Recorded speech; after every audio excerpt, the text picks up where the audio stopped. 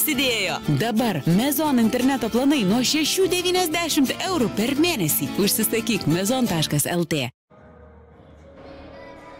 Labas vakaras, mėly krepšinio įstruoliai, sveiki visi sporto gerbėjai. Mes pradedam tiesioginę transliaciją iš Kauno ir dovanojame jums vaizdą iš Žalgirio treniruočio centro, kur netrukus čia nacionalinės krepšinio lygos ketvirtfinalio antrosios rungtynės Kauno Žalgirio antroji komanda žais su Šilute. Tai antroji akistata, prisimenant įvykius pirmajame mače, Žalgirio dubleriai iškovojo pergalę ir atėmė iš Šilutės aikštelės pranašumą šioje serijoje iki trijų pergalių. Žalgiris priekyje 1-0 ir yra geroje situacijoje kovoje dėl vietos tarp keturių stipriausių nacionalinės krepšinio lygos komandų šį sezoną. Kauno Žalgirio dubleriai e, buvo laipteliu žemiau už Šilutę po reguliariojo sezono. E, Šilutė e, užėmė ketvirtąją vietą ir iš karto pateko į ketvirtfinalį.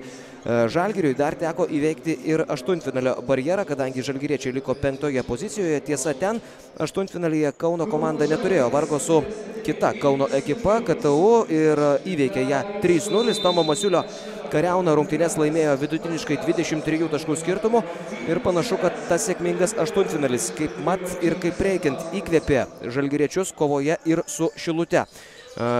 Jau pirmasis rungtynės žalgiriečiai laimėjo, na ir šiandieną Antrasis mačas jūsų dėmesiui prasideda dabar. Žalgirio komandos startinis penketas. Septintasis numeris Ignas Sargiūnas, 24 Martinas Arlauskas, numeris 10 Vitalijus Kozys, numeris 19 Martinas Sajus ir nepaminėtas liko tik tai Žalgirio sudėtyje 18 numeris Grantas Vasiliauskas. Šilutės komandos penketuką pristatysiu iš karto po Žalgiriečių išpolio. Jam dar 10 sekundžių. Sargiūnas į baudos aikštelę ir nedaug trūko iki galingo dėjimo iš viršaus. Jau į priekį skuba Šilutiškiai. Jų startinė sudėtis numeris 22 su kamuoliu Keilebas uh, Aučianas. Čia nepataikantis numeris 11 Andrius Globys. Taip pat numeris 15 Taurantas Tomašiūnas. Numeris 12 Evaldas Džiaugys ir numeris 10 Justas Nausėdas iš trijų taškų zonos. Keilebas Aučinas meta pro šalį, atkovoja kamuolį ir pirmosius taškus antrosiuose ketvirtinalio rungtynėse Šilutėje pelno Justas Nausėdas. Turi šiandieną e, savo sudėtyje e, Žalgirio dubleriai ir tuos pagrindiniai komandai priklausančius žaidėjus. Štai vienas jų, Martinas Arlauskas, pelno pirmosius žalgirio taškus. Taip pat šiandieną yra sudėtyje ir Martinas Sajus, ir Gytis Masiulis. E, praktiškai pajėgiausius sudėties žalgiriečiai, kurie padarys viską, jog šiandien čia Kaune neprarastų Šilutėje iškovoto e, aikštelės pranašumo šioje serijoje ir priartėtų prie pusfinalio dar vienu žingsneliu. Na, o Šilutės uždavinys bus nepaisant visų skandalų, kuriais pastaruoju metu apipintas šis klubas, e, išlyginti serijos rezultatą. Bet rungtynės sėkmingiau tęsia žalgiriečiai. Grantas Vasiliauskas pataiko iš trijų taškų zonos, pirmasis taiklus tolimas šių rungtynių metimas.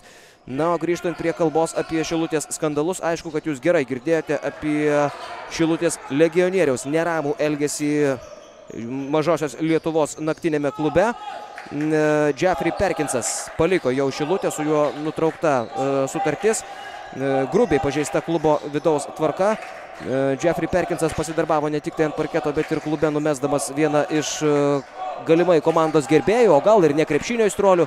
Nuo laiptų sunku pasakyti, koks to žmogaus požiūris į krepšinį, bet jis turi sveikatos problemų dėka Jeffrey Perkinso. Na, o Jeffrey Perkinsas turi problemų su teisės sauga ir šias rungtynės, jeigu ir stebi, tai ko gero iš vietos su labai kieta lova ir gal net grotuotais langais.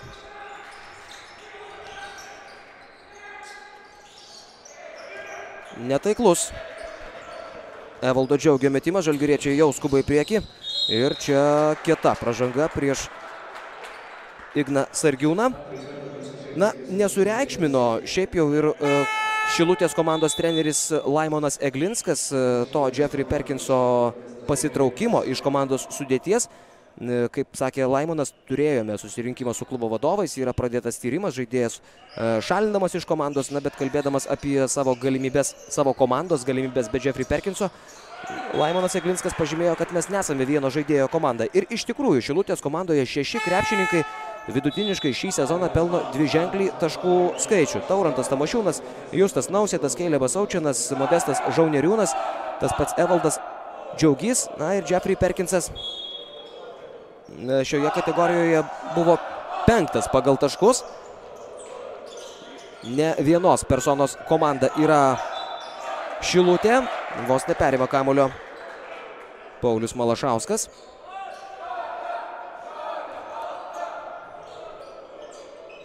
Galite karts nuo karto Žalgirio treniruočių centre girdėti ir e, Žalgirios ir Galių skandutės.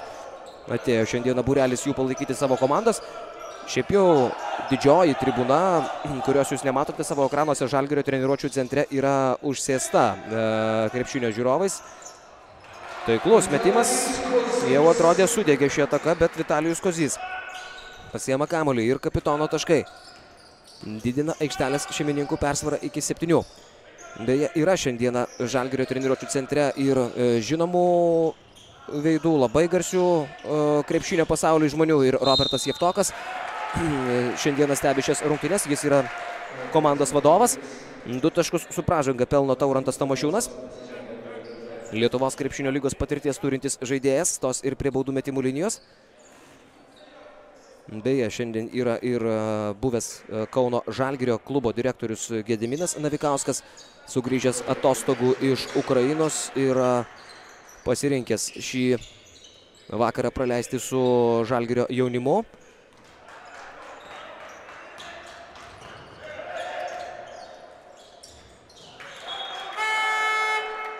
Išmuštas kamuolys, Ignas Argiūnas prisės palisėti ir pirmosios minutės aikštelėje vietoje jo 23 numeriui Matui Jogėlai.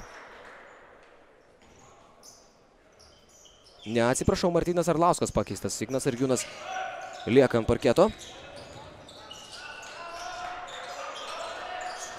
Dar šešios sekundės šią atakai. Sargiūno 2 prieš 2 su Martinu Sajumi. Sajus nesukontroliavo kūno ir atlieka metimą link krepšio. Taurantas Tomašiūnas atmestas kamuolys Džiaugiui. Džiaugys iš savo mėgstamo taško nepataiko, atkovojo kamuolį. Ir dar naują išpolį savo komandai tokiu būdu suteikia Andrius Globys. Taurantas Tomašiūnas globio kovą dėl kamulio verčia taškais iš trijų taškų zonos. Kozys. Sargiūnas. Kozys čia laisvės daug. Turi ir laiko prisitaikyti taip pat. Turi Matas Jogėla. Universalus.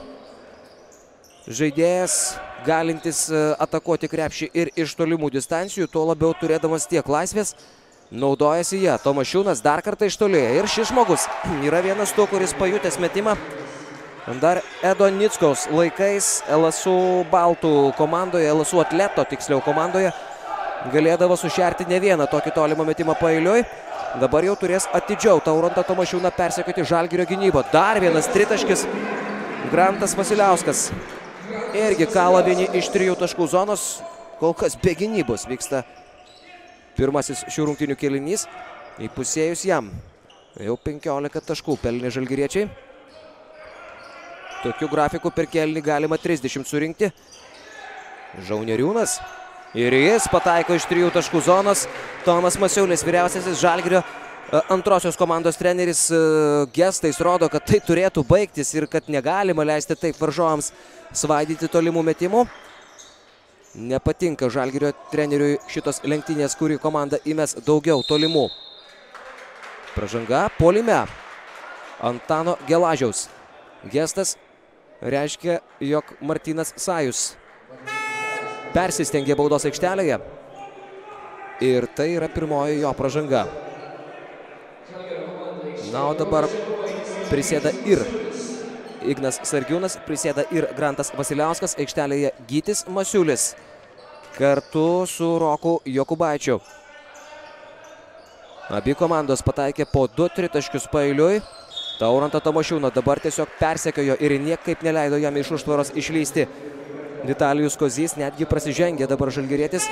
Ketvirtoji komandinė Žalgirio pražanga.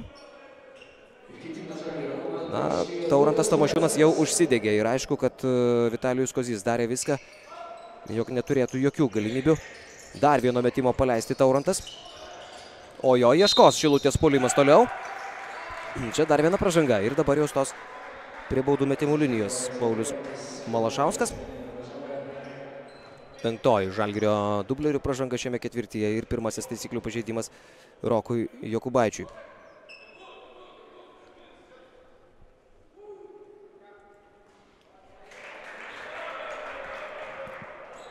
Šios komandos Mezon LKL NKL atkrintamosiose varžybose susitinka jau trečiąjį kartą per pastarosius penkerius metus. E, prieš tai Šilutė 2013-2014 sezone aštuntfinalyje Žalgirį įveikė penktosiose rungtynėse.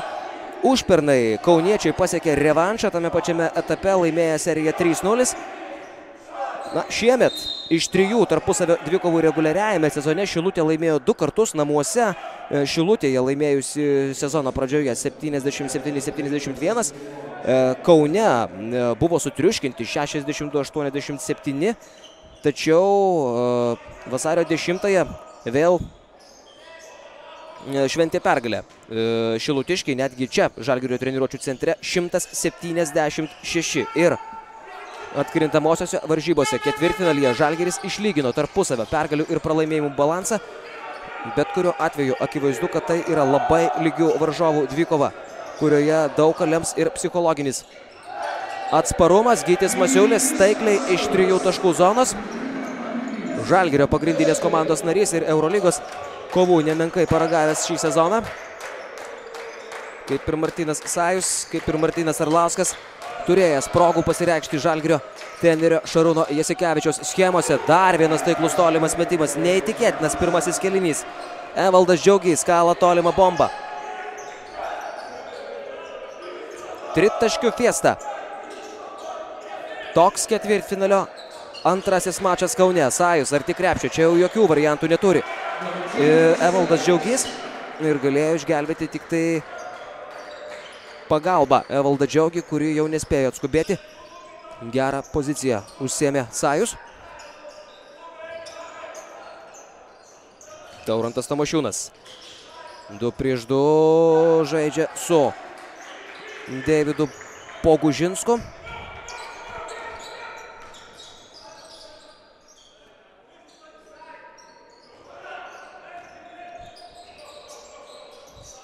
Jogėlas Sajus, Sajus atmeta kamuolį Uliackui, Uliackas stos mesti trijų baudos metimų.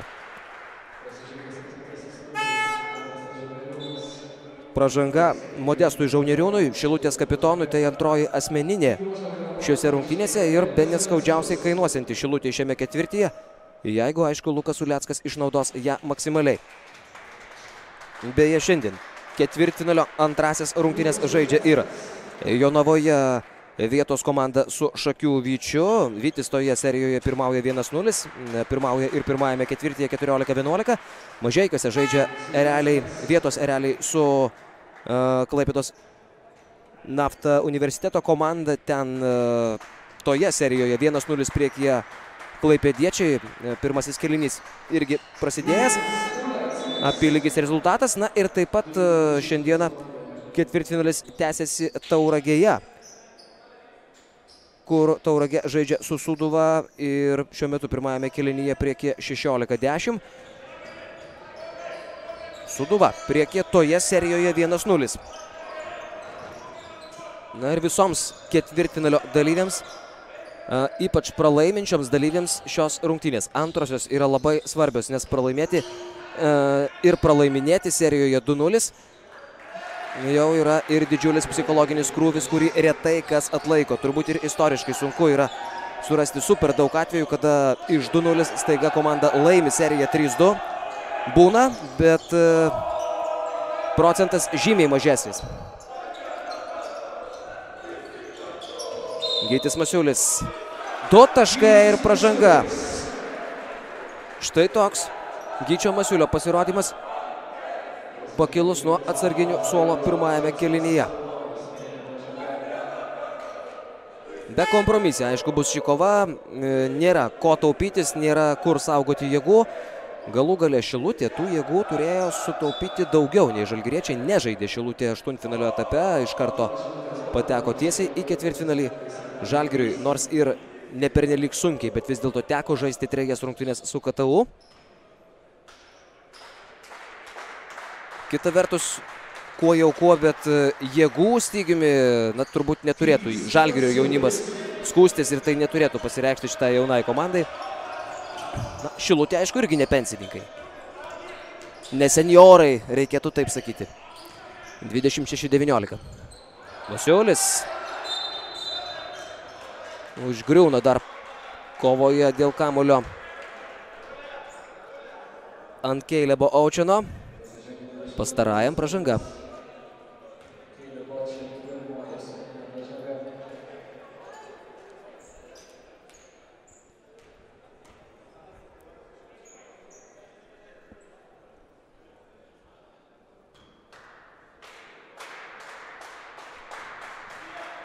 Gytis Masiulis paklaidžiojo šį sezoną tarp antrosios ir pagrindinės žalgirio sudėčių. Nedaug rungtynių šį sezoną e, sužaidė Gytis Masiulis. E, tik septynerias reguliariajame sezone, aštuntfinalyje apskritai nerungtyniavo, na o dabar, kai komandai atsirado galimybė prasibrauti tarp keturių pajėgiausių, Gytis Masiulis, aišku, yra ta korta, kurią įsitraukė žalgirio sistema.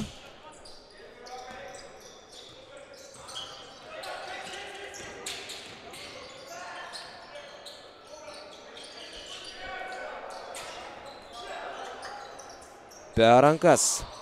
Atakuoja Paulius Malašauskas, kova dėl atšokusio kamulio tęsiasi ir tą kovą galiausiai laimi.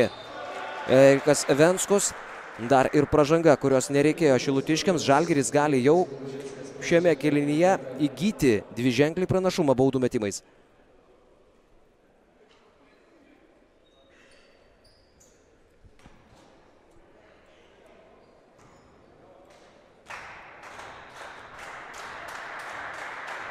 Erikas Venskus, 2 m 5 cm ūgio vidurio polėjas.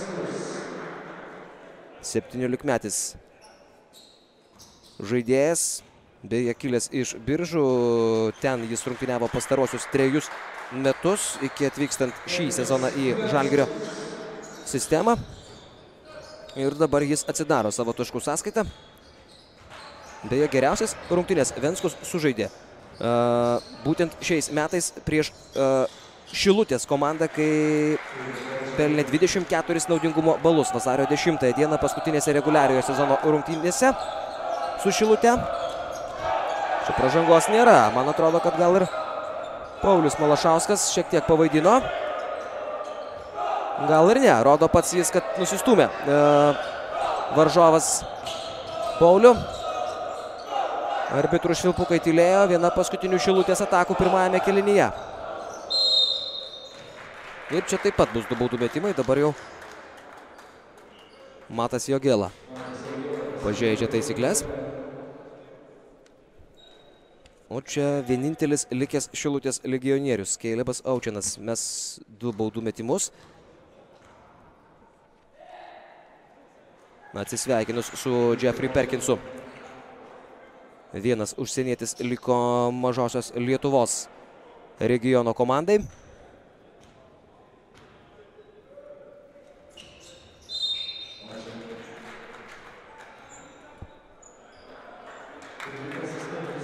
Ir štai taip. Dar pastovės šis pirmojo kėlinio rungtinių laikrodis dėl to, kad sugeba užsidirbti jau ir trečiąją pražangą Deividas Pogužinskas, e, turint omenyje, kad e, Laimono Eglinsko komandos atsarginių suolas yra gerokai trumpesnis. Tai yra rimta.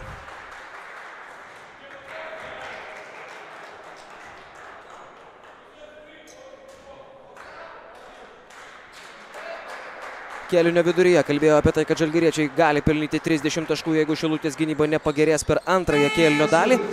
Ir būtent dabar Gytis Masiulis antroji taiklių baudos metimu didina žalgirio persvarą iki 30-23.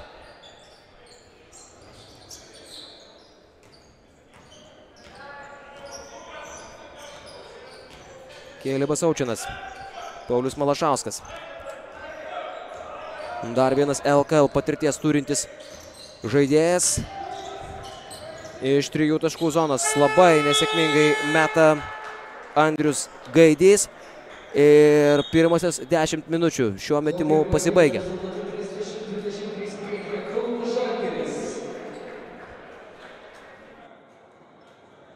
Neribotų gigabaitų fiesta prasidėjo. Dabar Mezon interneto planai nuo 6,90 eurų per mėnesį. Užsisakyk mezon.lt.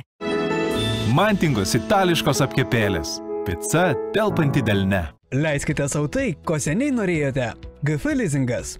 Finansuojama suma iki 15 tūkstančių eurų. Išsimokėjimo terminas iki 5 metų. Pirma įmoka po 3 mėnesių. Daugiau informacijos gfleasingas.lt. Mantinga duona. Traški ir šviežia, kepimai namuose. Sveiki, aš Saulis, mane jau pažįstat. O dabar susipažinkit su mano nauja, Jau nebe nauja? tada sena draugė Agnė. Mes susipažinom. Per praėjusias Velykas aš jai parodžiau Velykų zuikutį.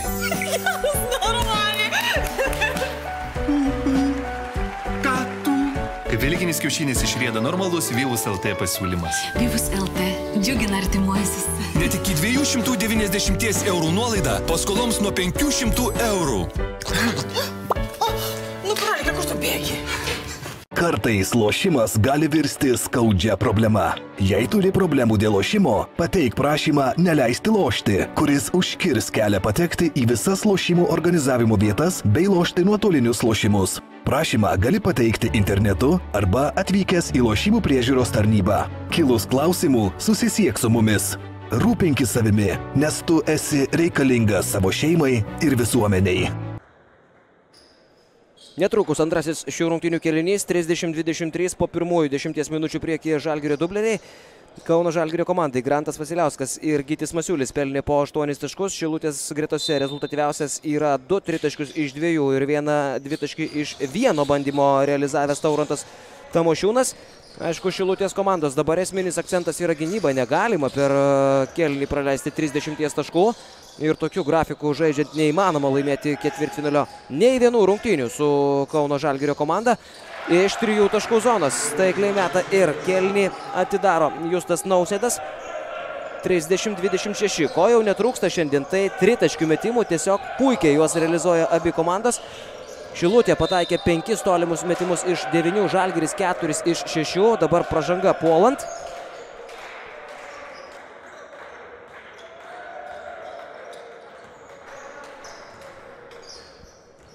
Keilivas Aučinas. Čia vėl nieko nelaukęs iš toli šveičia ir taikliai tai daro Justas Nausėdas. Antrasis tritaškis pailiui. Dabar jau priekaištai turėtų būti Lukui Uleckui, kuris nepaisant to, jog Nausėdas pataikė prieš tai, neiškėlė rankos pernelik, e, sutrukdydamas metimui. Ir tokia dekoratyvinė buvo Ulecko gynyba. Už tai jau susimokėjo žalgiriečiai. Čia stos baudų mesti Matas Jogėla.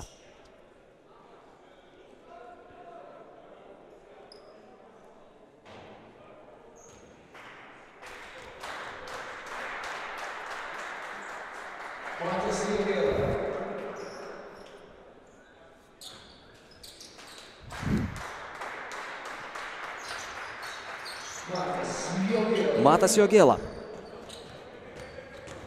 Penktasis jo taškas. Dar kartą renkasi tritaškį Šilutiškį ir toliau pila vieną taiklų tolimą metimą po kito.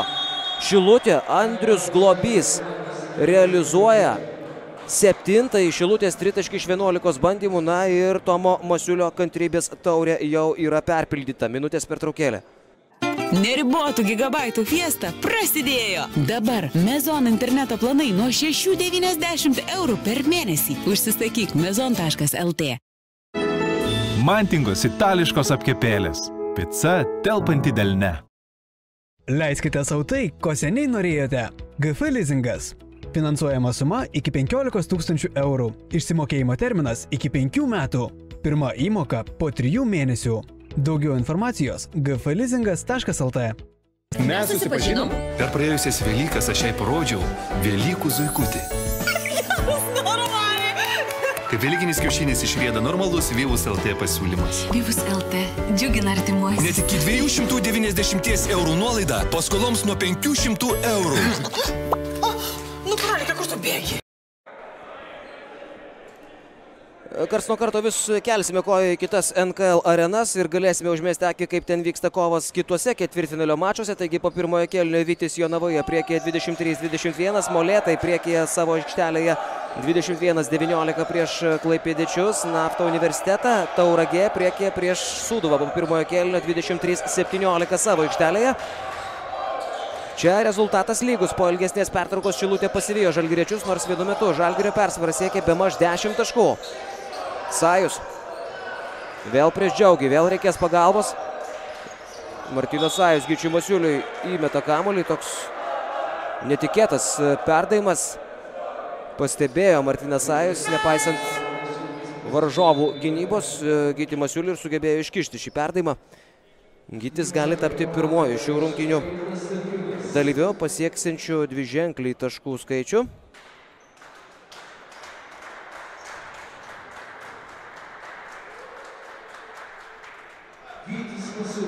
Vyriausiojo trenerio Tomo Masiulio sūnus. Tomas Masiulis, viena Lietuvos uh, krepšinio legendų. Na ir aišku, jam turėtų būti ir pasididžiavimas, ir vienas malonumas matyti taip tobulėjantį savo sūnų. Aišku, išvadoms dar anksti, bet kuriuo atveju per anksti, bet uh, progresija, kuria keliauja Gytis Masiulis šiame uh, sezone Šarūno Jasikevičio sistemoje žavi. Taurantui Tomašiūnui. Iškištas kamuolys, stringa Šilutės ataka ir čia, jeigu šis Justo Nausėdo perdavimas būtų pasiekęs Taurantą Tomašiūną, galbūt situacija būtų ir uh, pasibaigusi trimis Šilutės taškais. Beje, minėjau garsius žmonės, kurie stebi šias rungtynes. Paminėjau Jeftoką, paminėjau Gediminą Navikauską, dar reikėtų užmesti akį į tribūnas, jau ką tik juose prisėdo ir Mindaugas Špokas, Lietuvos krepšinio federacijos generalinis sekretorius kartu su prezidentu Arvidu Saboniu.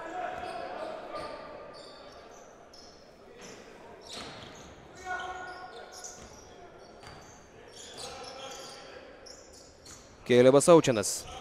Šis žaidėjas turbūt niekada nebūtų galėjęs pagalvoti, kad vieną kartą jo rungtynę stebės Sabas. Bet stebi ir Šilutė jau priekyje Kaune. Evaldas Džiaugys pataiko iš trijų taškų zonos. Na, su tokiu pataikymu Šilutiškiai šiandien tikrai gali daug. 8 tritaškiai iš 12. Ponai, mes šnekame apie beveik 70 procentų taiklumą. Martynas Sajus vėl persveria Žalgirio naudai pranašumą. Ir vėl netgi laiko prisitaikyti, netgi laiko prisitaikyti turi Justas Nausėdas. Kritika Žalgirio gynybai Tomui Masiuliui taip pat nelaiko nervai, ieško jis, kas nori gintis šiandieną Žalgirio gretose ir dabar pakėlė nuo suolo Grantą Vasiliauską. Netrukus jis pasirodys aikštelėje, čia krinta Nausėdas, Sargiūnas neria po krepšiu. Žalgiris aišku, kad gali palaikyti didesnį rungtinių spartą, tempą. Žalgirio jaunimas ir ilgas atsarginių žaidėjų suolelis gyvybės nestokoja. Šilutė energetiniai kovoj turbūt, kad pralaimėtų Žalgiriui. Čia Džiaugys gauna stogą, bet turi ir antrą bandymą. Ir Gytis Masiulis prasižengia.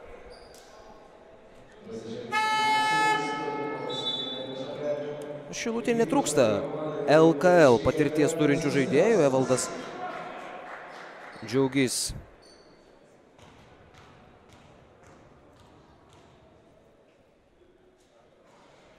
Buvo arti Lietuvos krepšinio lygos, puikiai žaidė iš esmės jis nacionaliniai krepšinio lygoje.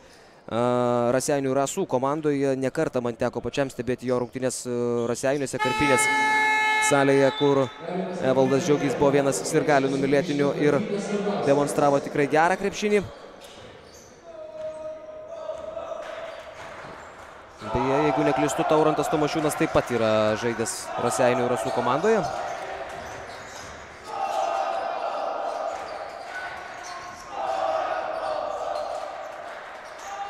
Ne, ne, atsiprašau.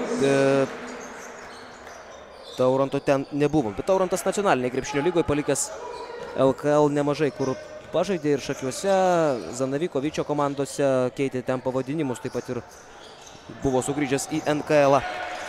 Edoniskos komandoje. Dabar Taurantas meta pro šalį iš toli. Po krepšių prasižengia Andrius Globys. Pirmoji jo pražanga.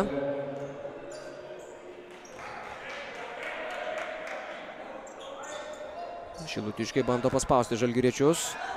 Ignas Sargiūnas reikiuoja savo komandos draugus atakai. Yra aikštelėje ir Martinas Arlauskas, ir Grantas Vasiliauskas, ir Vitalijus Kozys, ir Martinas Sajus. Toks vienas smogiamiausių žalgirio penketukų. Sargiūnas, sunkus metimas. Pasiekė tikslą, dabar jau Laimonas Eglinskas prašo minutės per traukėlės.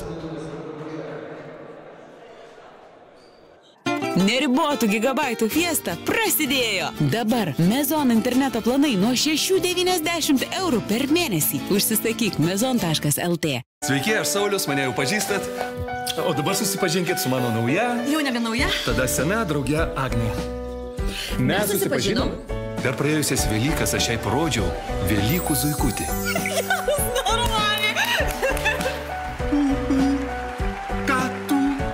Velykinis kiaušinis išrėda normalus Vyvus LT pasiūlymas. Vyvus LT džiugina artimuosius. Net iki 290 eurų nuolaida paskoloms nuo 500 eurų. Nu, brolikai, kur tu bėgi? Rankų šilumą ištobuliname tai, ką pradeda įrengimai. Mes profesionalai. Mantinga. Karštis, šaltis, meilė.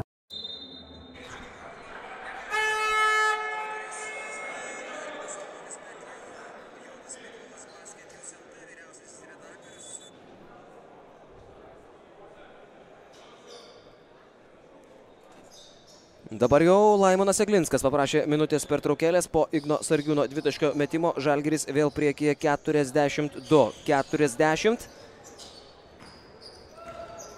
Reguliariajame sezone Šilutė iškovojo 25 pergalės, Žalgiris 21. Bendras šio sezono komandų rezultatas kol kas 2-2. Ir akivaizdu, kad ir šių rungtynių vaizdas leidžia mums sakyti tikrai lygių varžovų dvikovą. Stebime šio ketvirtfinalio intriga vis dar didelė. Na, žiūrint į reguliarų į sezoną, akivaizdu, kad didelio pranašumo namų aikštelės komandos neturėdavo ir didelio skirtumo, kur žaisti. Laiminčiai komandai nebūdavo, taigi Žalgiris tikrai negali guostis to, jog žaidžia savo aikštelėje, o dabar matėme labai įdomų epizodą, kai Vitalijus Kozys nepataikė iš idealios situacijos.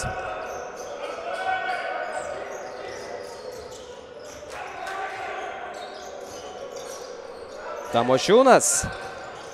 Per trumpas jo metimas, kamuolys liks žalgiriečiams nuo Vitalijos Kozio. Jis paliko aikštelės ribas. Taurantas Tamošiūnas rungtynės pradėjo dviem tritaškiais iš eilės.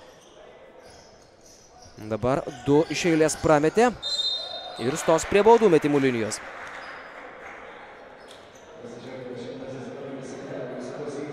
Beje, Taurantą jau pagal rezultatyvumą Šilutėje pralenkė Justas Nausėdas, kuris yra pelnęs 11 taškų, sumetęs visus 3 tritaškius ir vienintelį mestą dvitaškį.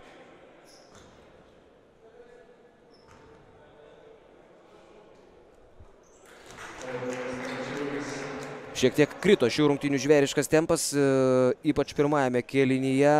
Vieną po kito komandos metė tritaškius ir atakas nuolat baigdavo tolimomis bombomis tiek į vieną, tiek į kitą krepšius. Na, o Šakių Vytis Jonavoje jau turi 13 taškų pranašumą įpusėjus. Įpusėjus antrajam kelniui. 27-40 toks rezultatas ten. Čia pražanga puolime baudžiami žalgiriečiai. Martinas Arlauskas trečioji pražanga jam. Ir dabar jau Martiną Arlauską priverstas keisti Tomas Masiulis. Aikštelėje Marius Valinskas.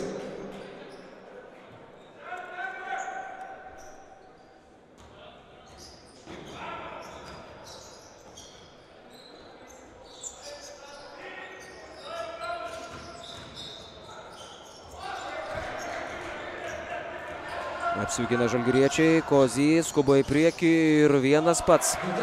Nuo vienos aikštelės pusės į kitą persivaręs kamolį, nesutikęs rimtesnio pasipriešinimo, išveda į priekį žalgyrį 44-42. Malašauskas. Džiaugys. Rezultatyvus ketvirtfinalis, na toks, sakyčiau, netradicinis e, vaizdas atkrintamosiose varžybose, kuriuose dažniausiai komandas kausto ir tam tikra psichologinė įtampa, dėl kurios daug taškų pelnyta nebūna. Komandos dažniausiai didelį dėmesį skiria gynybai, šiandien to nepasakysi.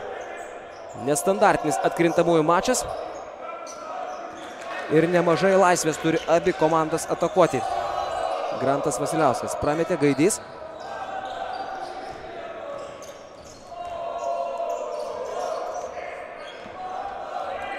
Malašauskas.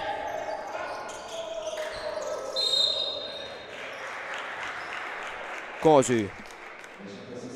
Pražanga ir tai ir jam yra trečioji pražanga, dabar jau ir kapitoną. Ko gero keis Tomas Masiulis. Pakeisti Sajus ir Sargiūnas. Kozys, nepaisant trijų pražangų, lieka ant parketo. Grįžta Gytis Masiulis į aikštelę kartu su juo ir Rokas Jokubaitis ant parketo.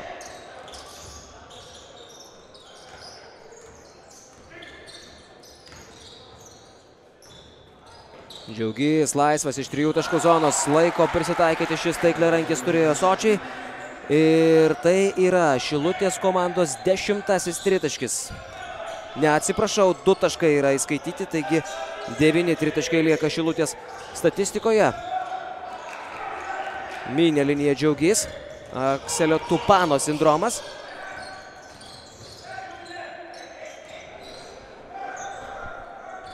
Andrius Gaidys.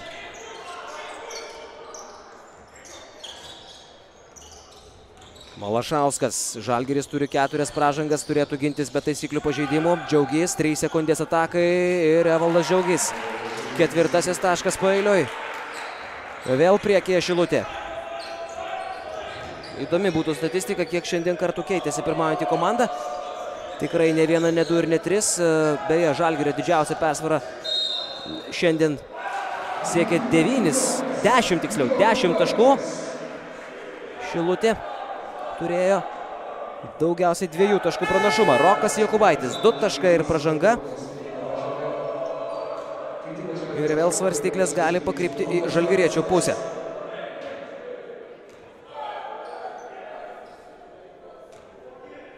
Turiu nuojautos, kad šiandien tokias rungtynės galime stebėti iki pat mačo pabaigos. Rungtynės taškas į tašką ir rungtynės, kuriuose galbūt tik tai ketvirtajame kelinyje, o galbūt ir paskutinėmis jo sekundėmis paaiškės, kurigi komanda iškovoja pergalę ir ar žalgiriečiai yra viena koja e, pusfinalyje, tai yra ar tik tai pergalė juos skirs nuo to, ar vis tik tai Šilutė grįžta į kovą, grįžta išlygindama rezultatą, susigražindama aikštelės pranašumą ir vėl tapdama savotišką šio ketvirtinalio favorite. Rungtynės, nuo kurių labai daug priklausys šis sezonas ir visas jo likimas abiem klubam. Šilutė vėl priekyje.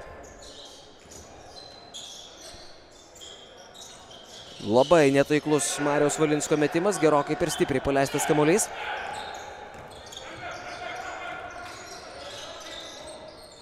Malašauskas gražus perdavimas ir netaiklus buvo Davido Pogužinsko metimas, bet Evaldas Džiaugys yra antrojo kėlinio flagmanas Šilutėje, 14 taškas ir minutės pertraukėlės prašo Tomas Masiulis.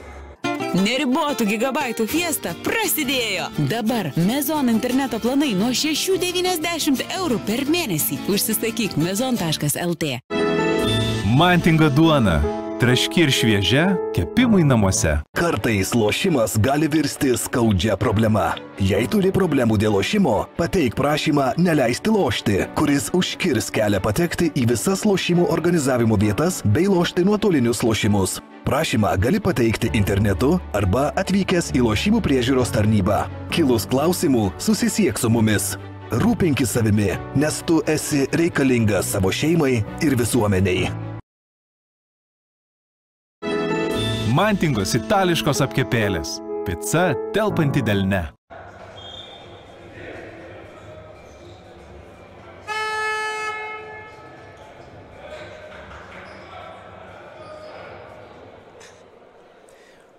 NKL ketvirtfinalis Kaune tęsiasi, lieka minutė 24 sekundės iki antrojo kelnio pabaigos. Žalgerio komandos penketukas pasiruošęs tęsti rungtynės Gytis Masiulis, Martinas Sajus, e, Lukas Uleckas, e, taip pat Rokas Jokubaitis ir Matas Jogėla. Prieš juos Paulius Malašauskas, Modestas Žaunieriūnas, Evaldas Džiaugiais, Justas Nausėdas bei Davidas Pogužinskas.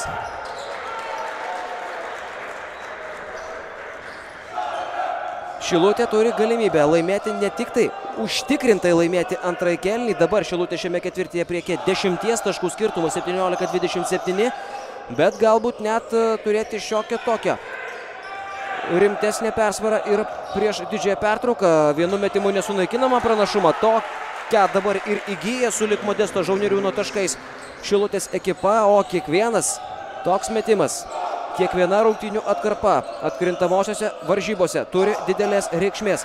Žalgirio pirmoji dalis klostosi nesėkmingai. Tiksliau tos dalies pabaiga. Gytis Masiulis nepataiko iš toli. Šilutėje priklauso didžioji dalis kelinyje likusio laiko. Žalgiriui dar galėtų likti apie 4-5 sekundės. Jeigu žais svečiai iki pabaigos šioje atakoje, tą beveik ir padarė svečiai. Lieka dvi sekundės per visą aikštelę. Kamolį šveičia. Nepataiko Matas Jogėla. Taigi šilutiškiai po dušo, šalto dušo ant galvų 30-23 pralaimėję pirmąjį ketvirtį, antrąjį laimi 17-29 ir žalgiriečiai prastesnėmis nuotaikomis keliauja į Rūbinę pasitikti ilgosios pertraukos. Neribotų gigabaitų fiesta prasidėjo. Dabar Mezon interneto planai nuo 6,90 eurų per mėnesį. Užsisakyk mezon.lt. Mantingos itališkos apkepėlės. Pica telpanti delne. Leiskite savo tai, ko seniai norėjote. GF leasingas. Finansuojama suma iki 15 tūkstančių eurų. Išsimokėjimo terminas iki 5 metų. Pirma įmoka po 3 mėnesių. Daugiau informacijos gfleasingas.lt. Mantinga duona. Traški ir šviežia, kepimai namuose. Sveiki, aš Saulis, mane jau pažįstat. O dabar susipažinkit su mano nauja, Jau nebe nauja? tada sena draugė Agne. Mes susipažinom. Per praėjusias Velykas aš jai parodžiau Velykų zuikutį.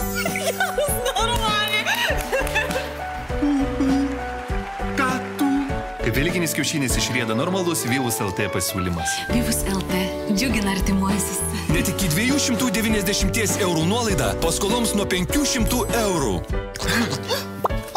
Nu, praeika, kur tu bėgi? Kartais lošimas gali virsti skaudžia problema. Jei turi problemų dėl lošimo, pateik prašymą neleisti lošti, kuris užkirs kelią patekti į visas lošimų organizavimo vietas bei lošti nuotolinius lošimus. Prašymą gali pateikti internetu arba atvykęs į lošimų priežiūros tarnybą. Kilus klausimų, susisiek su mumis. Rūpinkis savimi, nes tu esi reikalingas savo šeimai ir visuomeniai. Mandinga picos. Amerikana ir napoletaną. Mmm. Mes susipažinom. Per praėjusias Velykas aš jai parodžiau Velykų zuikutį. Kaip Velykinis kiaušinis išrėda normalus Vyvus LT pasiūlymas. Vyvus LT džiugina artimuosius. Net iki 290 eurų nuolaida paskoloms nuo 500 eurų. Nu, praeika, kur tu bėgi?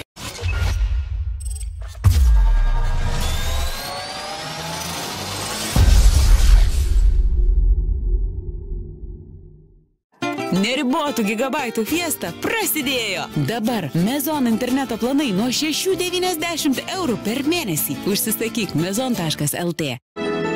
Mantingos itališkos apkepėlės. Pica telpanti delne. Leiskite savo tai, ko seniai norėjote. GF leasingas.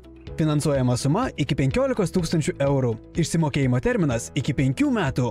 Pirma įmoka po 3 mėnesių. Daugiau informacijos gfleasingas.lt. Mantinga duona. Traški ir šviežia, kepimai namuose. Sveiki, aš Saulis, mane jau pažįstat. O dabar susipažinkit su mano nauja. Jau nebe nauja. Tada sena draugė Agnė. Mes, Mes susipažinom. Per praėjusias Velykas aš jai parodžiau Velykų zuikutį.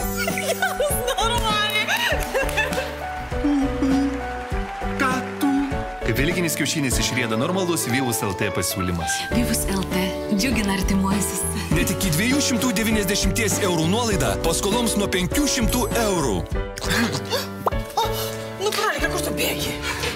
Kartais lošimas gali virsti skaudžia problema. Jei turi problemų dėl lošimo, pateik prašymą neleisti lošti, kuris užkirs kelią patekti į visas lošimų organizavimo vietas bei lošti nuotolinius lošimus. Prašymą gali pateikti internetu arba atvykęs į lošimų priežiūros tarnybą. Kilus klausimų, susisiek su mumis.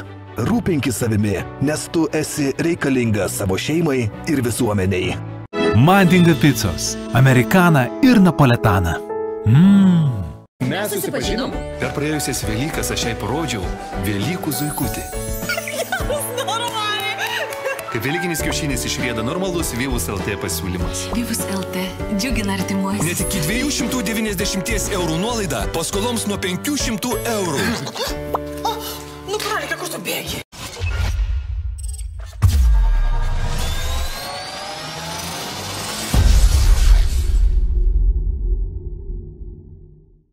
Neribotų gigabaitų fiesta prasidėjo. Dabar Mezon interneto planai nuo 6,90 eurų per mėnesį. Užsisakyk mezon.lt. Mantingos itališkos apkepėlės. Pica telpanti delne. Leiskite savo tai, ko seniai norėjote. GF leasingas. Finansuojama suma iki 15 tūkstančių eurų. Išsimokėjimo terminas iki 5 metų. Pirma įmoka po 3 mėnesių. Daugiau informacijos gfleasingas.lt. Mantinga duona. Traški ir šviežia kepimui namuose. Sveiki, aš Saulis, mane jau pažįstat. O dabar susipažinkit su mano nauja, Jau nebe nauja? tada sena draugė Agnė. Mes susipažinom. Per praėjusias Velykas aš jai parodžiau Velykų zuikutį.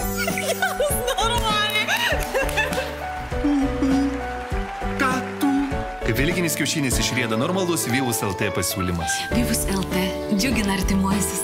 Net iki 290 eurų nuolaida paskoloms nuo 500 eurų. Nu, praeika, kur tu bėgi? Kartais lošimas gali virsti skaudžia problema. Jei turi problemų dėl lošimo, pateik prašymą neleisti lošti, kuris užkirs kelią patekti į visas lošimų organizavimo vietas bei lošti nuotolinius lošimus.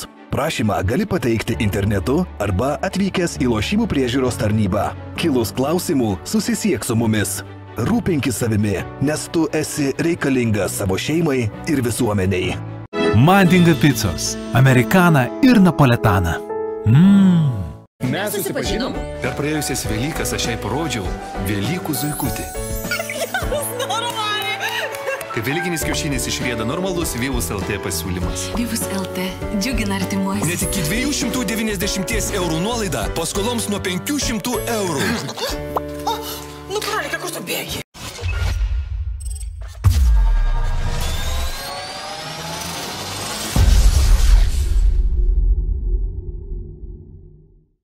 Neribotų gigabaitų fiesta prasidėjo. Dabar Mezon interneto planai nuo 6,90 eurų per mėnesį. Užsisakyk mezon.lt. Mantingos itališkos apkepėlės. Pica telpanti delne. Leiskite savo tai, ko seniai norėjote. GF leasingas. Finansuojama suma iki 15 tūkstančių eurų. Išsimokėjimo terminas iki 5 metų. Pirma įmoka po 3 mėnesių. Daugiau informacijos gfleasingas.lt. Mantinga duona. Traški ir šviežia kepimui namuose. Sveiki, aš Saulis, mane jau pažįstat. O dabar susipažinkit su mano nauja, Jau nebe nauja? tada sena draugė Agnė. Mes susipažinom. Per praėjusias Velykas aš jai parodžiau Velykų zuikutį.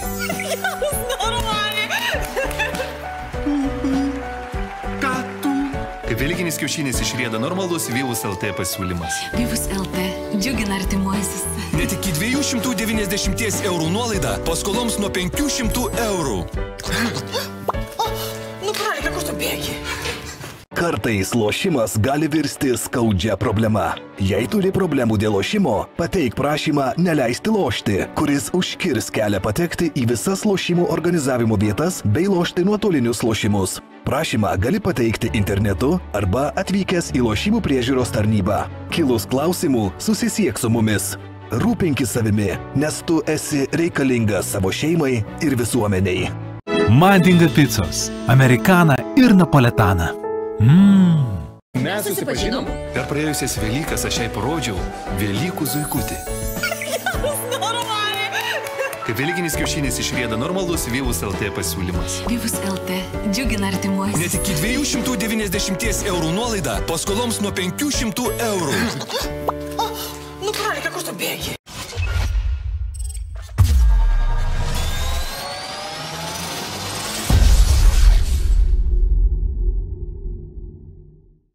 Neribotų gigabaitų fiesta prasidėjo. Dabar Mezon interneto planai nuo 6,90 eurų per mėnesį. Užsisakyk mezon.lt. Mantingos itališkos apkepėlės. Pica telpanti delne. Leiskite savo tai, ko seniai norėjote.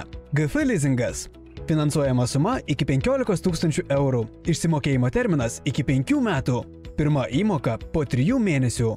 Daugiau informacijos gfleasingas.lt. Mantinga duona.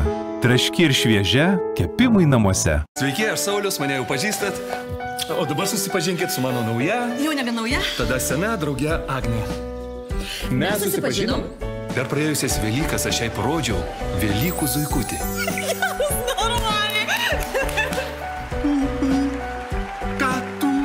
Velykinis kiaušinis išrėda normalus Vilus LT pasiūlymas. Vilus LT džiugina artimuosius. Net iki 290 eurų nuolaida paskoloms nuo 500 eurų. O, nu, brolika, kur tu bėgi? Kartais lošimas gali virsti skaudžia problema. Jei turi problemų dėl lošimo, pateik prašymą neleisti lošti, kuris užkirs kelią patekti į visas lošimų organizavimo vietas bei lošti nuotolinius lošimus. Prašymą gali pateikti internetu arba atvykęs į lošimų priežiūros tarnybą. Kilus klausimų, susisiek su mumis. Rūpinkis savimi, nes tu esi reikalingas savo šeimai ir visuomeniai. Mandinga picos, amerikana ir napoletaną. Mmm. Mes susipažinom. Per praėjusias Velykas aš jai parodžiau Velykų zuikutį.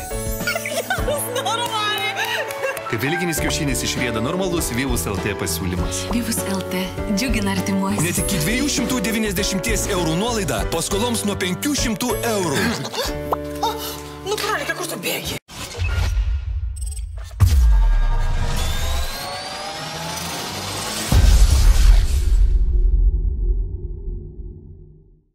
Neribotų gigabaitų fiesta prasidėjo. Dabar Mezon interneto planai nuo 6,90 eurų per mėnesį. Užsisakyk mezon.lt. Mantingos itališkos apkepėlės. Pica telpanti delne. Leiskite savo tai, ko seniai norėjote. GF leasingas. Finansuojama suma iki 15 tūkstančių eurų. Išsimokėjimo terminas iki 5 metų. Pirma įmoka po 3 mėnesių. Daugiau informacijos gfleasingas.lt. Mantinga duona.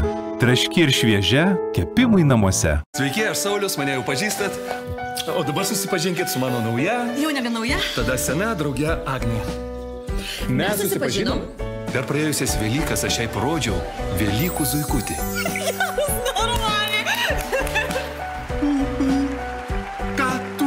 Kaip Velykinis kiaušinis išrėda normalus Vyvus LT pasiūlymas. Vyvus LT džiugina artimuosius. Net iki 290 eurų nuolaida paskoloms nuo 500 eurų. Nu, karaliukė, kur tu bėgi? Kartais lošimas gali virsti skaudžia problema. Jei turi problemų dėl lošimo, pateik prašymą neleisti lošti, kuris užkirs kelią patekti į visas lošimų organizavimo vietas bei lošti nuotolinius lošimus. Prašymą gali pateikti internetu arba atvykęs į lošimų priežiūros tarnybą. Kilus klausimų, susisiek su mumis. Rūpinkis savimi, nes tu esi reikalingas savo šeimai ir visuomeniai. Mandinga picos, amerikana ir napoletaną. Mmm. Mes susipažinom. Per praėjusias Velykas aš jai parodžiau Velykų zuikutį. Kaip vilkinis kiaušinis išrėda normalus Vyvus LT pasiūlymas. Vyvus LT džiugina artimuosius. Net iki 290 eurų nuolaida paskoloms nuo 500 eurų. nu, karalite, kur tu bėgi?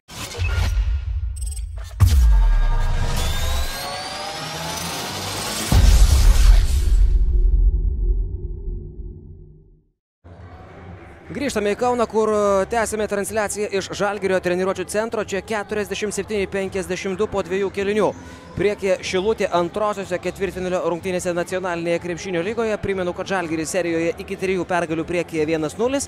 Ir šiandien šiose rungtynėse Šilutės komanda siekia susigražinti aikštelės pranašumą, kurį prarado po pirmųjų rungtynių Šilutėje. Žalgiriui jas laimėjus. Šiandien taip pat nacionalinėje krepšinio lygoje vyksta dar keli ketvirtinalio susitikimai. Antrasis rungtynės žaidžia Jonava ir Vytis. Ten e, priekyje po e, dviejų kelinių net 53-31 yra šakių. Vytis e, baigėsi du keliniai ir mažiekiuose, kur 40 atsiprašau, 44-38 po dviejų kelinių priekyje Mažiekių komanda prieš Klaipėdos naftą universitetą. Taip pat baigėsi du ketvirčiai ir Tauragėje, kur Tauragė žaidžia su Suduva ir priekyje. Vos dviem taškais aikštelės šeimininkai 42 40. Na, o šios rungtynės Kaune kol kas turėtų labai patikti, uh, ypač neutraliems krepšinio gerbėjams, dėl to, kad pirmiausia, rungtynės yra labai rezultatyvios. Uh, daug tritaškių Šilutė realizavo net 9 tritaškius iš 16, 56 procentų pataikymas. Gerai tolimus metimus meta ir žalgyriečiai, 4 tritaškiai iš 10. Neblogai komandos realizuoja ir dvitaškius. Žalgiris pataikė 11 iš 17, Šilutė 9 iš 19. Žalgiris meta gerokai daugiau baudos metimų, 15 metė baudų, 13 pataikė Kauniečiai. Šilutė 9 metė baudos metimus, pataikė 7. Žalgiris turi problemų kovoje dėl atšokusių kamolių, nes Šilutė atkovoja tų kamolių e, daug polime ir kartoja savo atakas, net 8 pakartotinius bandymus tokiais atkovotais kamuoliais turėjo Šilutė. Čia Matas Jogela atidaro uh, trečiąjį kelnį tritaškių metimų, penktasis Žalgirio tritaškis. Na, Žalgirio komandos polimas šiek tiek įvairesnis, žiūrint į taškus pelniusių žaidėjų sąrašą. Gytis Masiulis surinko 10, 8 pridėjo Grantas Vasiliauskas, 6 uh, taškai Igno Sargiūno kraityje, Matas Jogelas surinko 8. Uh, Šilutės polimas laikosi ant trijų banginių. 14 taškų pelnė Evaldas Džiaugys, ypač gerai žaidęs antrajame ketvirtyje. 13 Tauranto Tamošiūno, 11 Justo Nausėdo sąskaitose. Vėl du taškai skiria komandas prieš Martiną Sajų. Dvi gubina gynybą. Šilutiškiai Sajus pažeidžia 3 sekundžių taisyklę. Užsilaukė kamulio prašydamas Martinas Sajus. Ir jau bereikalo jį atmeta komandos draugui. Tai yra tik tai šeštoji Žalgirio klaida. Šilutė prarado vos keturis kamuolius šiandien. Dar vienas aspektas, dėl ko šias rungtynės galime vadinti gražiomis. Aišku, treneriai norėtų daugiau gynybos ir geresnės gynybos. Ir Gytis Masiulis skėščioja rankomis, dab, uh, Tomas Masiulis, atsiprašau, vyriausias treneris, skėščioja rankomis po Andriaus Globio tritaškio metimo. Visiškai laisvas. Realizuoja dešimtąjį šilutės tritaškį šiandien Globys. Be pražangos. Dabar Globys išmuša kamolį Gyčiui Masiuliui. Dar 9 sekundės šiai Žalgirio antrosios komandos atakai. Jogėla. Ir jis mes tris baudų metimus. Neapdairiai ginasi Keilebas Aučianas. Antroji pražanga jam. Gytis. E, tai yra e, Matas Jogėla. Prieš tai pataikęs antrąjį savo tritaškį iš keturių bandymų. Dabar baudų metimais gali pelnyti dešimtąjį tašką ir pavyti pagal rezultatyvumą Gyti Masiulį. Žalgirio antrojoje komandoje.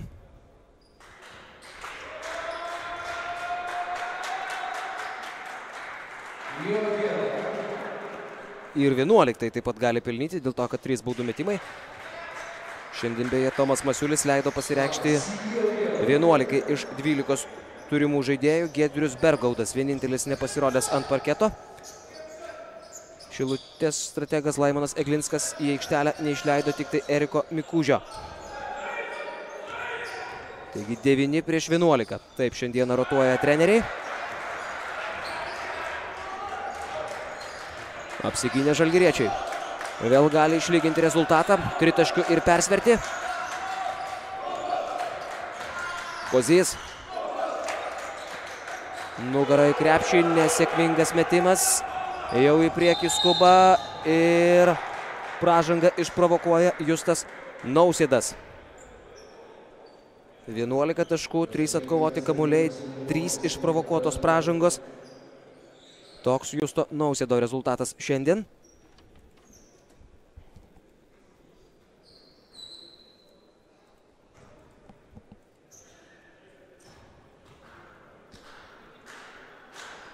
Ir dabar du baudų metimai.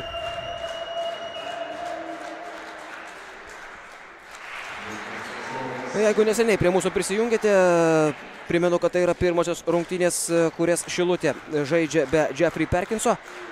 Laimonas Eglinskas prieš šias rungtynės sakė, jog nemano, jog tai turės didelį poveikį komandai. Nėra malonu, kai tai nutinka, sakė Eglinskas, bet e, buvo pažeistas režimas svarbiausių kovų metu be saiko vartotas alkoholis. Sunku net ir įsivaizduoti, kaip taip galėjo atsitikti, bet atsitiko. Bet, kaip sakė Glinskas, čia ne NBA ir vienas žaidėjas, kaip Lebronas Džeimsas Klyvlende, visko nenulems.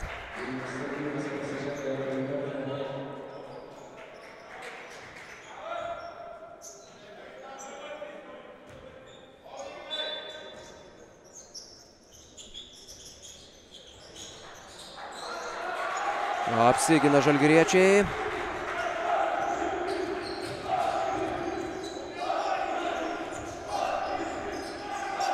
Sargiūnas atmestas kamuolys Masiuliui, ne visai sėkmingai, Gytis Masiulis. Puikiai įmestas kamuolys komandos draugui, tas draugas yra Matas Jogėla. Lyginantis šių rungtynių rezultatą 57-57 Kaune. Keilėbas Aučinas. Toliai išbėgo Martinas Ajus, Evaldas Džiaugiais kurį laiką buvo atsidengęs, Justas Nausėdas nespėjo įmesti kamulio. Dabar džiaugiai su kamuliu čia ir jo metimas, nelengvas metimas per Vitalijų Kozį.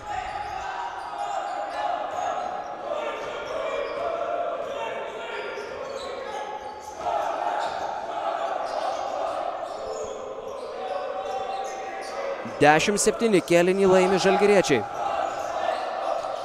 Vis dar priekyje bendrame rezultate svečiai. Masiulis išmaudo nausėdą ir išprovokuoja pražangą. Štai dėl ko Gyčio Masiulio svarbiausių kovų metu žalgirio sistemai reikės. E, taip, jis galbūt nėra daugiausiai e, minučių sužaidęs Tomo Masiulio auklėtinis šį sezoną. Priešingai jau minėjau šios transliacijos pradžioje, kad Gytis sužaidė viso labo septynerias rungtynės šį sezoną. E, ir praleido visą aštuntfinalį. Bet nepaisant to, jog Tomo Masiulio treniruotėse darbavosi mažiau nei kiti, jog daug laiko praleido su pagrindinė Žalgirio komanda. Gytis Masiulis šiandien vis tiek įrodinėja, kad su juo Žalgiris yra tiesiog stipresnis nei buvo be jo.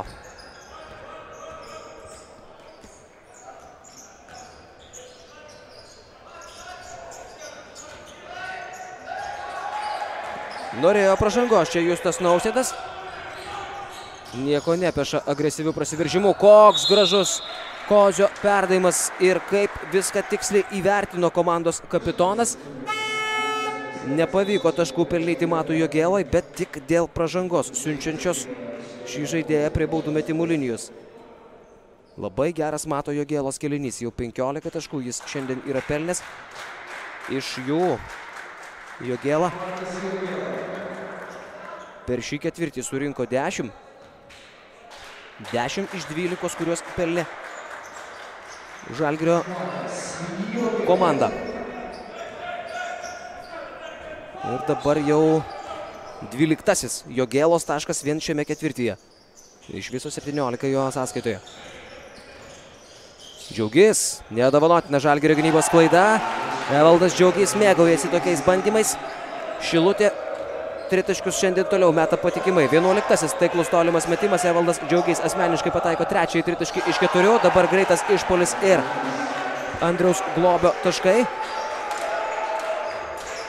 Dar kartą klysta dabar Ignas Argiūnas perima kamuolį Malašauskas. Būtina minutės pertraukėlė. Žalgirio komandai užsivedė šilutiškai patenkintas ir trenerių štabas visai kitokios nuotaikos Tomo Mosiulio pusėje, kurio pasitarimas su krepšininkais prasideda kaip tik dabar.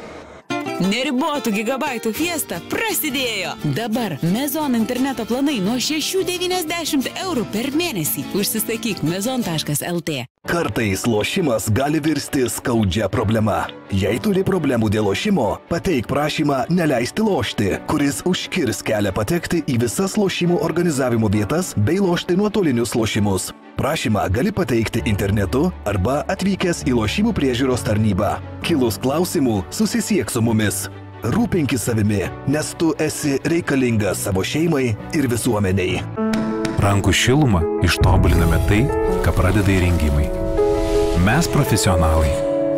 Mantinga. Karštis, šaltis, meilė.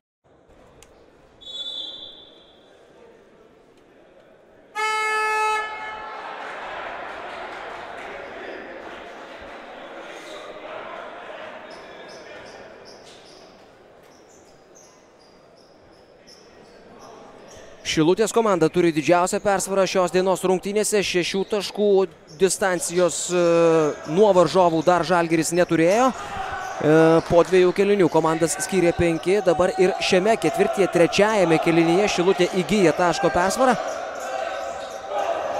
Jokubaitis. Žymiai aktyvesnė ir kibesnė varžovo gynyba dabar patiria žalgiriečiai. Gytis Masiulis kamulio nesugauna, prie to daug prisidėjo Evaldas Džiaugys. Nuo Gyčio Masiulio kamuolys ir paliko aikštelės ribas. Gytis dar bando perkalbėti rungtynių arbitrus, bet jau kalbasi su siena. E, Beje, šioms rungtynėms teisėjauja Andžėjus Urbanovičius, Antanas Gelažius ir Lukas Žarnauskas.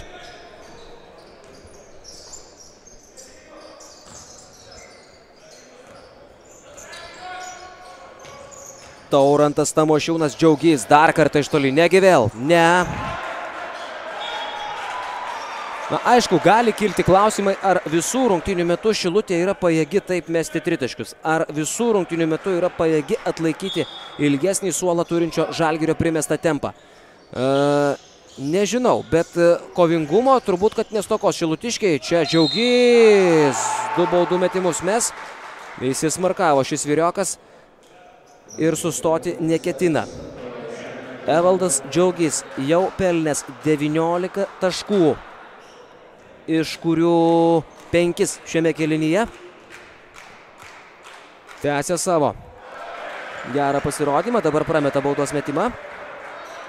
Na, Šilutės komandos vyriausiasis treneris prieš šias rungtynės taip pat dar paklaustas, ar šis vakaras bus gyvenk ir mirk vakaras, sakė, jog mirti galima dėl kažko kito, bet jei kalbame apie patekimą į finalo ketvirtą, būtent dėl jo kova čia ir vyksta, tuomet tikrai taip. Ir tokios emocijos, tokios emocingos kalbos prieš rungtynės tik tai dar kartą patvirtina, kaip rimtai į šias rungtynės žiūri šilutiškiai. O kaipgi kitaip, pralaimėję jas turėtų labai nedidelės galimybės. Tik tai laimėję visas trejas likusias dar patekti į finalo ketvirtą. Tomošiūnas. Oh, yeah. Dar vienas tritaškis. Vienuoliktasis šilutės tritaškis. Dvyliktasis tritaškis, tiksliau, už 21 bandymo. Ir 10 taškų jau skiriančių komandas. Taurantas Tomošiūnas. Agresyviu judesiu pabandė perimti kamuolį. Lukui Uleckui išsaugoti jį pavyksta pražanga Taurantui. Šilutė tai yra jau ketvirtoji komandinė. Žiūrint į krepšininkų veiksmus, akivaizdu, kad Šilutės pasitikėjimo savimi kreditas yra kur kas uh, didesnis dabar. Ir šiek tiek pakrikė atrodo žalgeriečiai. Šilutė bando to pasinaudoti ir dar labiau priblokšti žalgeriečius. Rokas Jokubaitis. Po ilgesnės pertvarkos pabudina žalgerio taškų skaitiklį. Dar vienas tolimas metimas. Paulius Malašauskas nepabijojo. Uleckas. Du prieš du su Sajumi pražangos puolime nėra. Čia Sajus. Ir kaip gudriai gynyboje žaidžia Andrius Globys. Šiek tiek atsitraukė, parkrito, o Martinas Sajus nėra labiausiai koordinuotas žaidėjas. Pameta kamolį. Dar vienas šilutės gynybinis laimėjimas suintensyvino apskritai gynybą. Svečiai šiame ketvirtyje. Pirmajame praleidę 32-ame 17, dabar yra praleidę 15. Ypač pastaruoju metu gerai ginasi šilutė. Du taškai ir pražanga Rokas Jokubaitis. Ketvirtasis iš eilės. Ir tai dar ne problemų pabaiga svečiams. Davidas Pogužinskas užsidirba ketvirtąją pražangą. Taip, jis nėra pats svarbiausias žaidėjas, šiandien per 9 minutės surinkęs 2 taškus. Bet e, tai yra rotacijos narys, o rotacija nėra stiprioji trenerio Laimono Eglinsko. Pusė trumpesnis atsarginių suolas ir kiekvienas žaidėjas reikalingas, taupant tas jėgas ir laikant žalgirio primetamą kur kas didesnį rungtinių tempą. Ir aišku, tai viena priežasčių, kodėl Šilutė dažnai meta iš trijų taškų zonas. Tai tiesiog kainuoja mažiau jėgų negu prasiveržimai ar atakos vienas prieš vieną ilgai žaidžiant kamolį ir vargstant polime. Dar vienas tritaškis metimas. Nieko labai gudraus, nieko labai nematyto, bet viskas labai efektyvu. Justas Nausėdas. Ketvirtasis jo tritaškis.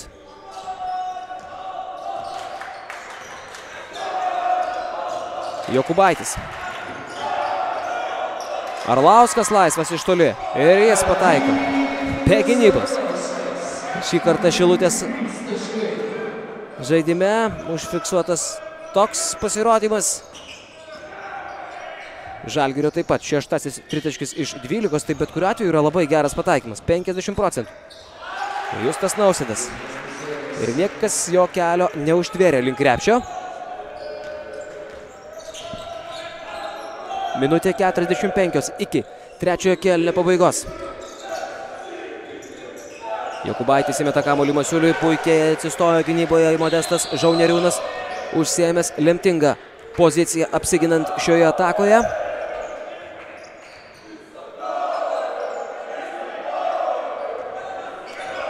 Panašu, kad ir šį kėlinį Žalgiris pralaimės Dar du taškus dabar pelno prieš tai gynyboje puikiai sužaidęs Modestas Žauneriūnas. Ir gali būti, kad pralaimės neprastai. Dabar 17-26 kelnį laimi Šilutiškiai.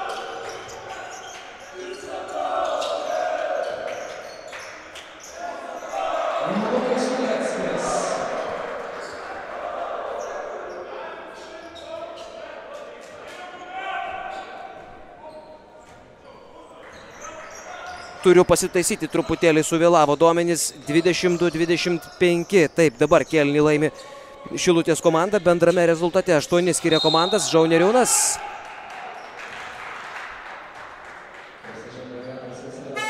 Ir Grantui Vasiliauskui pražanga. Ketvirtoji Žalgiriui šiame ketvirtyje.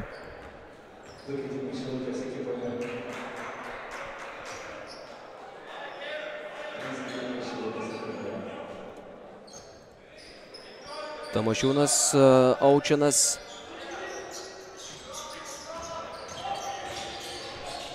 Ir Pogužinskas vėl Šilutiškių penketuke. Pogužinskui užduotis išvengti penktosios pražangos šio kelnio pabaigoje. Džiaugys. Dar vienas tritaškis. Labai smagus turėtų būti tritaškių klipukas po šių rungtynių. Ir kažkas fantastiško. Keturioliktasis taiklus tolimas metimas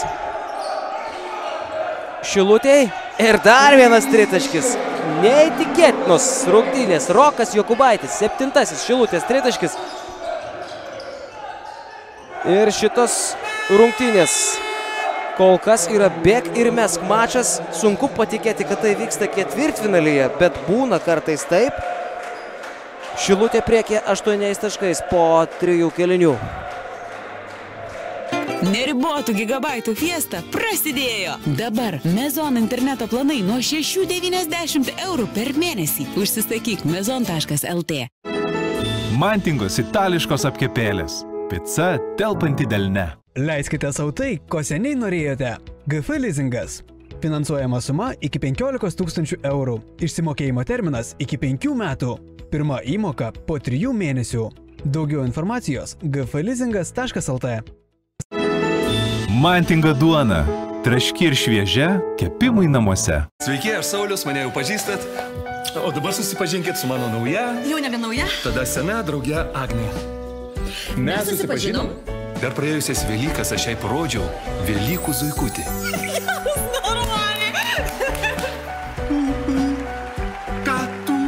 Belginis kiaušinis išrėda normalus Vyvus LT pasiūlymas. Vyvus LT džiugina artimuosius.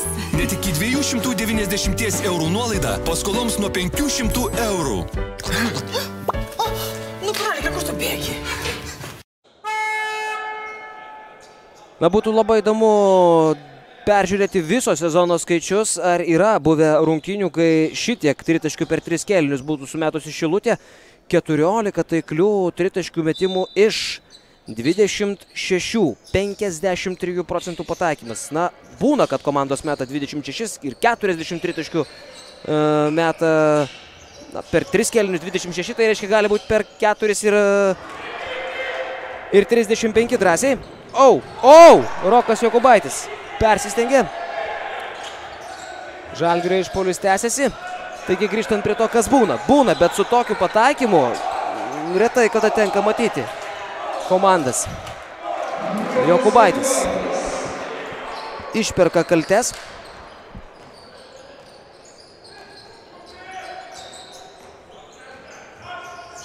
Ketvirtasis šių rungtynių kelinys prasideda žalgiriečio taškais. Ir vėl Modestas Žauneriūnas gana lengvai susikūrė progą metimui. Kaip be pasibaigtų šios rungtynės, akivaizdu, kad abu treneriai turės rimtų priekaištų savo komandų gynyboms.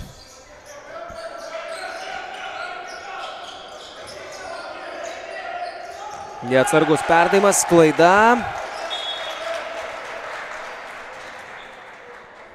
Klaidų skaičius šiek tiek išaugo antroje rungtynių dalyje. Žalgiris jau yra pametęs 14 kamolių, kai po dviejų kelinių buvo suklysta penkis kartus. Šilutė vis dar klysta retai ir per trečiąjį kelinį prarado du kamolius, iš viso šešios klaidos. Šiandien tritaškiai ir kamulio branginimas. Viena tų priežasčių, vienos tų priežasčių, dėl ko Šilutė priekė. Gynyba tarptų priežasčių irgi nėra dėl to, kad Šilutė irgi praleidžia nemažai taškų, bet tai, kaip meta tritaškius, yra nuostabu. Kita vertus, užsidegusi, užsivedusi, jau daug metimų sumetusi, daug taškų surinkusi Evalda Džiaugi, jų, jo varžovai gynė viso labo taip, kaip matėte prieš tai. Ir turbūt nereikia net labai stebėtis, kodėl metimą jau pajautęs Džiaugys ir toliau smaugia Žalgirį. 26 taškai. Tiesiog jis metė vėl laisvas. Dabar Džiaugys prieš Jokubaitį. Jo pasitikėjimas savimi yra išaugęs žiauriai.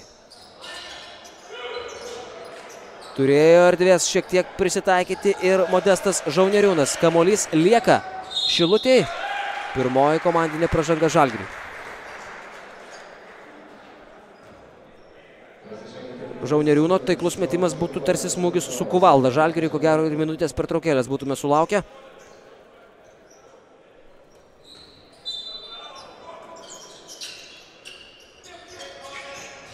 Keturiolika sekundžių svečių atakai. Žauneriūnas prieš kur kas aukštesnį ir lėtesnį Martyną Sajų. Turėtų žaisti vienas pats. Na, vargu ar pats teisingiausias sprendimas. Gal reikėjo atakuoti Sajų ir eiti po krepšiu. Būtų apžaidęs greičio persvarą turintis žaidėjas Sajų. Nusprendė pataupyti jėgas ir mesti tritaškį.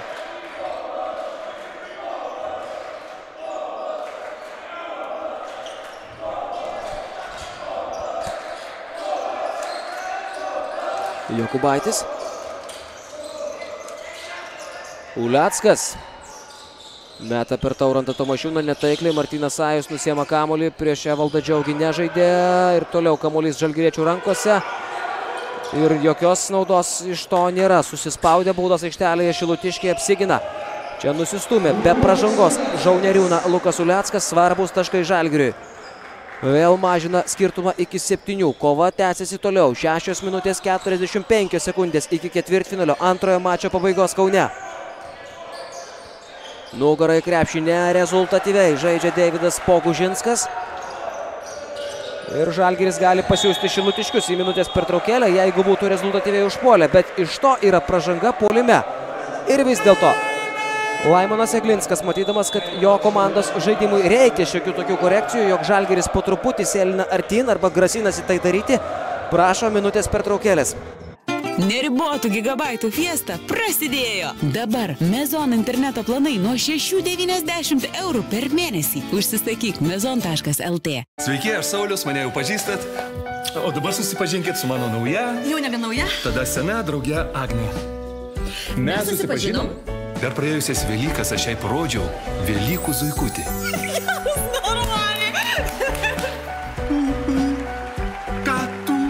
Velykinis kiaušinis išrėda normalus Vyvus LT pasiūlymas. Vyvus LT. Džiugina artimuosius. Net iki 290 eurų nuolaida paskoloms nuo 500 eurų.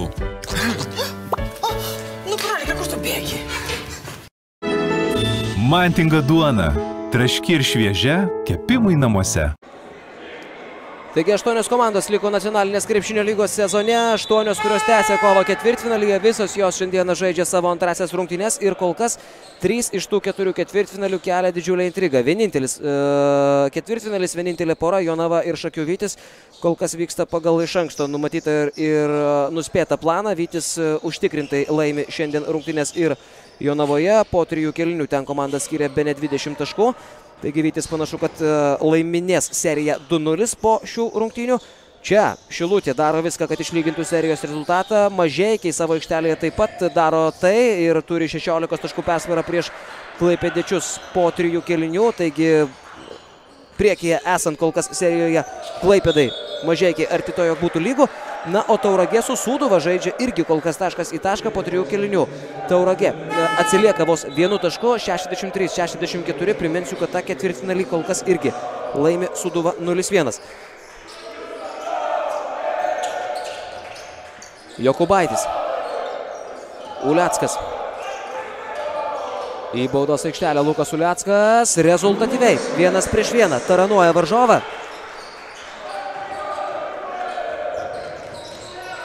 Žalgiris toliau vargina varžovus.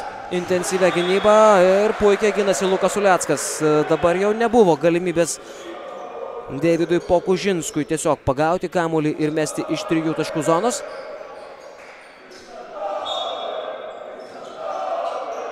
Privalo išgaudyti žalgiriečiai tokius metimus, kaip ką tik padarė po Pogužinskui siūstą kamuolį išmušęs Uleckas. Dabar apsigina žalgiriečiai. Justas Nausėdas. Ketvirtoji pražanga jam. Dar viena rimta žinia. Laimonui Eglinskui ir visai Šilutei. Jau trys žaidėjai Šilutės komandoje turi po keturias pražangas. Ir Jacobas, ir Keilabas Aučinas, ir uh, Justas Nausėdas, ir Davidas Pogužinskas.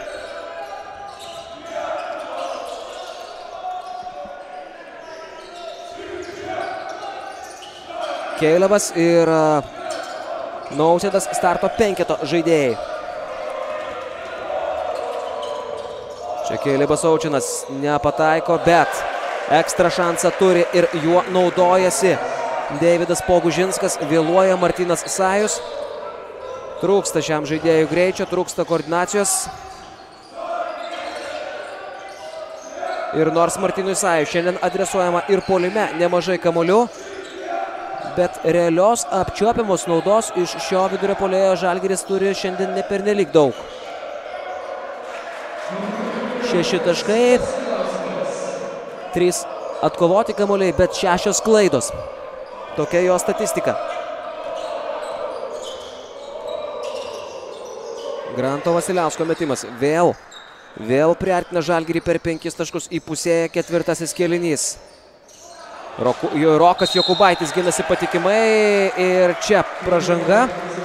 Ketvirtoji, ketvirtoji šilutė, bet daug svarbiau, jog tai yra rungtynių pabaiga Keilebui Aučianui. Penktoji pagrindinio šilutės įžaidėjo pražanga ir jo antrasis ketvirtfinalio mačas jau baigėsi. Taigi dabar Laimonui Eglinskui reikės spręsti galvosūkį, kaip kompensuoti šį įžaidėją. Keturis taškus pelnęs, keturis rezultatyvius perdavimus atlikęs. Tris pražangas išprovokavęs, du kamolius atkovojęs pagrindinis atakų organizatorius jau tik nuo atsarginių suolo galės stebėti savo komandos žaidimą. Jogėla iš toli, trys taškai, Žalgiris turi viso labo dviejų taškų deficitą. Mato Jogėlos antroji rungtinių dalis.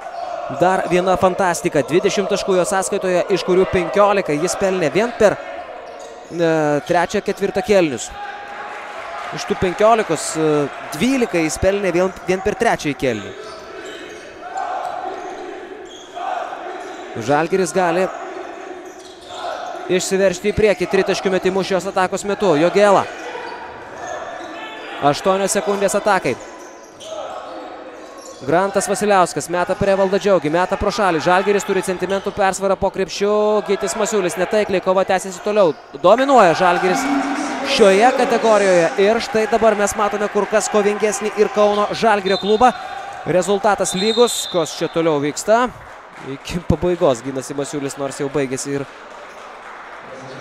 Šilutės ataka, nors teisėjas jau sušvilpė pražangą.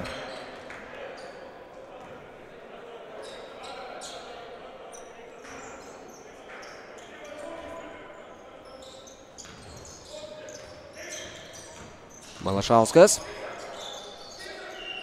Nausėdas. Tikėtina, kad mes. Tikėtina, kad pataikys. Dviračio neišradinėja Šilutė. 16-asis tritaškis iš 31 bandymo.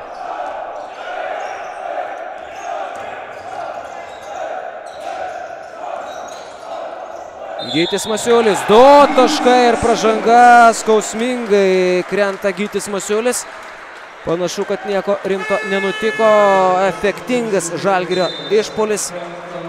Ir tai yra, tai yra dar ir Justo Nausėdo mačo pabaiga. Ką tik tritaškį pataikęs. Šiandieną iš viso 21 tašką sušėręs Nausėdas pataikęs 5 tritaškius iš 7. Dabar jau sėda ant suolo ir savo komandai galės padėti tik tai emociškai nuo suolo.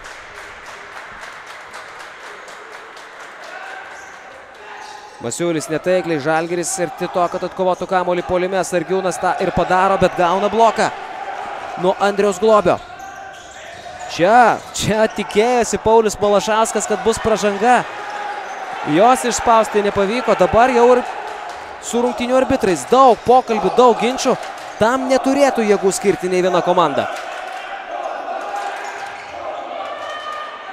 Netaiklus Jogėlos metimas iš toli, globys į makamolį. Ko gero Šilutį reikėtų numušti rungtinių tempą ir sulėtinti šitą žvėrišką spartą. Nenaudinga jį Šilutį, tuo labiau likusiai be dviejų žaidėjų. Malašauskas grybauja po krepšiu. Ko gero ir psichologinių nuovargio jau nemažai. Daug jėgų kainuoja šios rungtynės. Vasiliauskas. Nėra. Šilutė komandinėmis pastangomis atkovoja kamolį. Nepaprastos intrigos mačas. Iki kurio ketvirtojo kėlinio pabaigos lieka dvi minutės. Taurantas Tomašiūnas veržėsi po krepšio ir uždirba pražangą Grantui Vasiliauskui. Trečioji pražanga jam.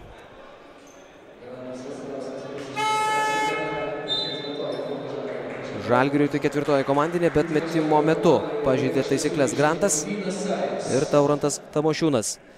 Nuo jo labai daug dabar priklausys Šilutės puolimas per likusį ketvirtojo kėlinio laiką. Nuo jo ir nuo Evaldo Džiaugio. Du dar likę super rezultatyvūs žaidėjai. Kai Nausėdas jau iškrito, dar anksčiau ir Keilebas Aučianas baigė rungtynės. Taurantas Tamošiūnas ir jo ranka nedreba, 18 taškas. Gytis Masiulis. Taranuoja globį ir taikliai. Gytis Masiulis. Na, čia yra ir individualus meistriškumas, be jokios abejonės. 17 taškų. 6 atkovoti kamuoliai, 3 rezultatyvūs perdavimai, 6 išprovokuotos pražangos. Toks Gyčio Masiulio rezultatas. Prašo pertraukėlės Laimonas Eglinskas. Neribotų gigabaitų fiesta prasidėjo. Dabar Mezon interneto planai nuo 6,90 eurų per mėnesį. Užsisakyk mezon.lt. Mandinga picos. Amerikana ir Napoletana. Mmm. Leiskite savo tai, ko seniai norėjote. GF leasingas. Finansuojama suma iki 15 tūkstančių eurų. Išsimokėjimo terminas iki 5 metų. Pirma įmoka po 3 mėnesių. Daugiau informacijos gfleasingas.lt. Mes susipažinom. Per praėjusias Velykas aš jai parodžiau Velykų zuikutį.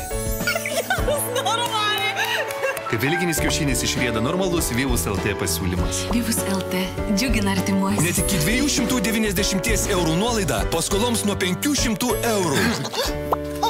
Nu, Karalika, kur tu bėgi?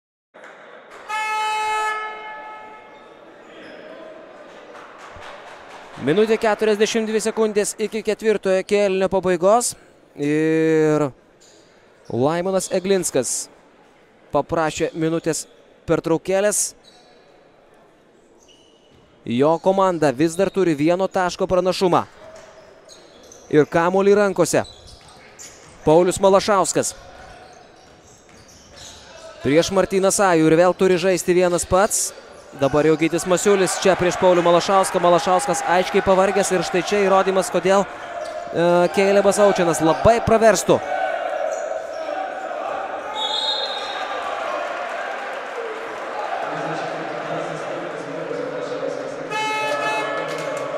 Praverstų šilutį. O čia įdomi situacija. Keilebas Aučianas ką tik pasirodė aikštelėje. Nežinau, ar Laimonas Eglinskas čia bandė taip sugudrauti ir galvojau, jog galbūt būsiu jūs pats suklaidinęs. Bet Keilebas Aučianas yra prasižengęs penkis kartus ir negi to nežinojo Laimonas Eglinskas. Su savo trenerių štabu jis tarsi netyčia pakėlė Keilebą Aučianą nuo atsarginių žaidėjų. Sulelio ir nedaug truko iki to, iki aikštelę būtų žengęs e, žaidėjas, kuriam jau yra mačas seniai pasibaigęs, dabar taip nustebęs į švieslentę pasižiūrėjo ir Laimono Eglinsko asistentas. Na, jeigu ne išvalgusis rungtinių sekretoriatas, vadovaujamas legendinės aukštės Zakrienės Žalgirio treniruočio centre. Velnės žino, kaip čia būtų pasibaigus šitą istoriją, o ką reikėtų daryti, jeigu žaidėjas sužaistų vis dėlto su penkiom pražangom ir niekas to nepastebėtų. Juk rungtinių rezultatų jau turbūt nenuliuotum. Čia lygų. Tamošiūnas prie jo prilipęs Jogėlą. Žauneriūnas, ryštingas žvilgsnis į sąjun, pasiryžę žaisti vienas prieš vieną ir žaidžia Žauneriūnas. Vėl priekyje Šilutė, nors buvo prisiklyjavęs e, Martinas Sajus kaip vantos lapas prie užpakalio, bet vis dėlto Žauneriūnas žaidžia užtikrintai ir siunčia į minutės pertraukėlę Žalgrį.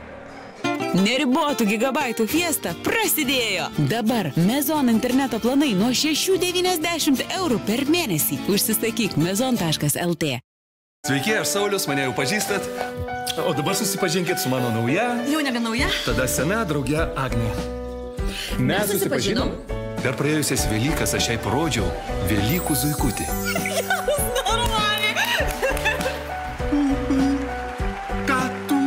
Kaip Velykinis kiaušinis išrėda normalus Vyvus LT pasiūlymas. Vyvus LT.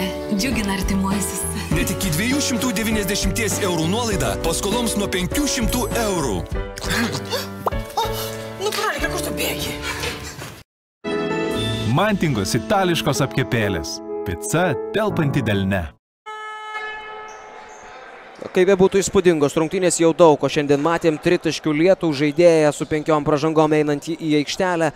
Intriguojančią, be kompromisę kovą, nuolat besikeičiančią pirmaujančią komandą. Puikus ketvirtfinalis ir a, jau netrukus atsakymas į klausimą, ar Šilutė išlygina ketvirtfinalio serijos iki trijų pergalių rezultatą, ar jis tampa 1-1, ar Žalgeris priekyje bus 2-0 po šio mačo. Paskutinė ketvirtojo kėlinio minutė prasideda. Sargiūnas 2 prieš 2 su Sajumi. Sajus prašo kamulio prieš kur kas žemesnį Malašauską. Sargiūnas atakuos džiaugi. Sargiūnas atmestas kamuolys iš trijų taškų zonos. Meta labai netaikliai matas jo gėlą. Kamuolį ima. Martinas Sajus žiauriai svarbus laimėtas kamuolys. Gytis Masiulis. Ir čia galėjo būti taškai su pražanga. Labai nedaug iki to trūko. Ir toks buvo tikslas. Trečioji pražanga Žauneriūnui. Na, aišku, pratesimas Žalgirio dubleriam labai tiktų šiandien. Varžovai gerokai išsibaudavę. E, dar reikia priminti, kad ir Davidas Pogužinskas turi keturias pražangas. Trečiąją dabar užsidirba Modestas Žauneriūnas. Ir jėgų, taip įtariu, daugiau turėtų būti pasilikę žalgeriečiai. O dabar gerą žinią gauna Šilutė. Masiulis prameta baudos metimą. Čia iš vis telegrama iš, iš Afrikos. Du netaiklus baudų metimai.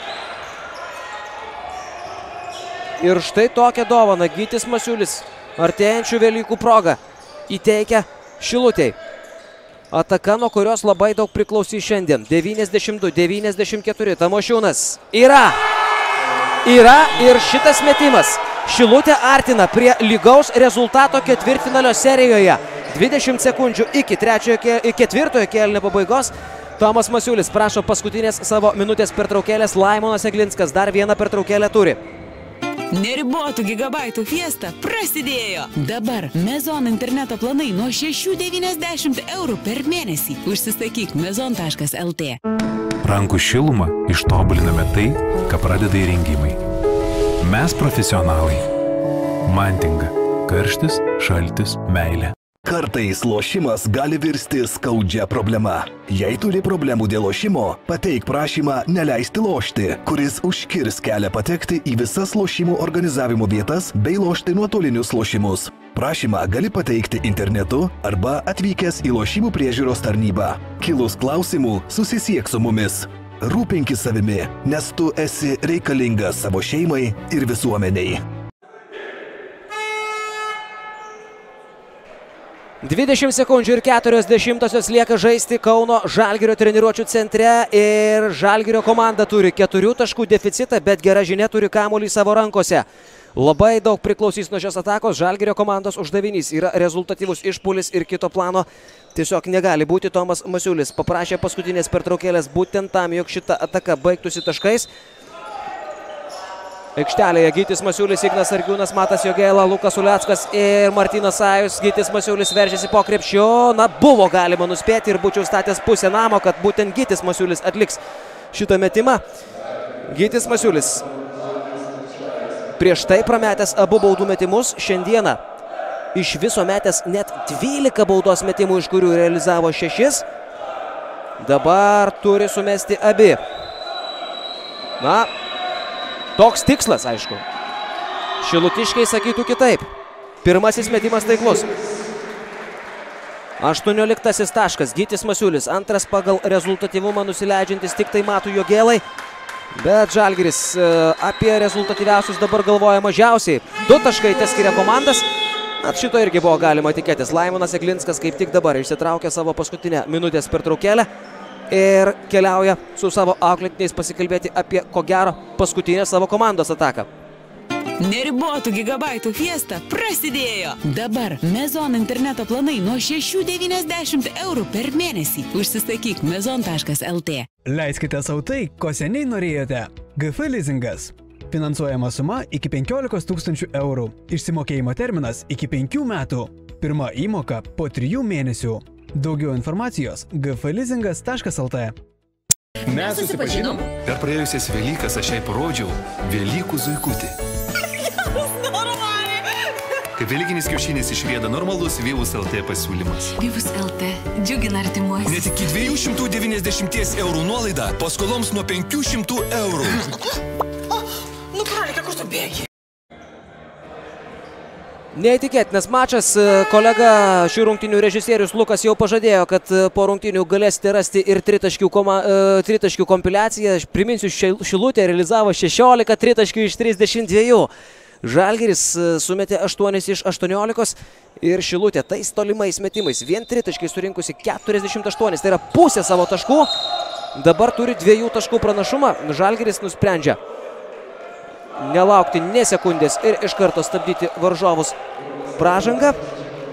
Na ir Modestas Žauneriūnas meta pirmuosius baudų metimus šios dienos rungtynėse.